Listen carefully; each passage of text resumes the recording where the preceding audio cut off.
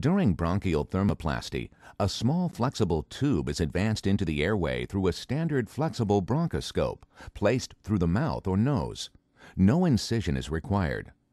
The Alair device has an expandable wire basket at the tip, and when it is expanded, the four arms of the basket come in contact with and fit snugly against the airway wall. The expanded basket will then deliver controlled radio frequency energy for about 10 seconds to heat the airway smooth muscle. About one third of the targeted lung areas are treated during a single session.